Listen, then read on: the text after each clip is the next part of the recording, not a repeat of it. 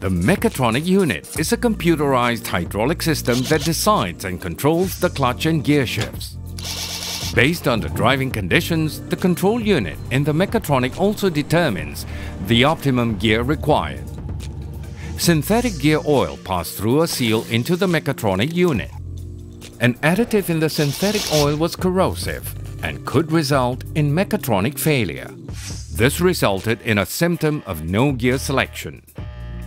The synthetic gear lubrication oil has been changed to high-performance mineral gear oil, which does not contain the additive that was identified as corrosive. This change reduces potential failures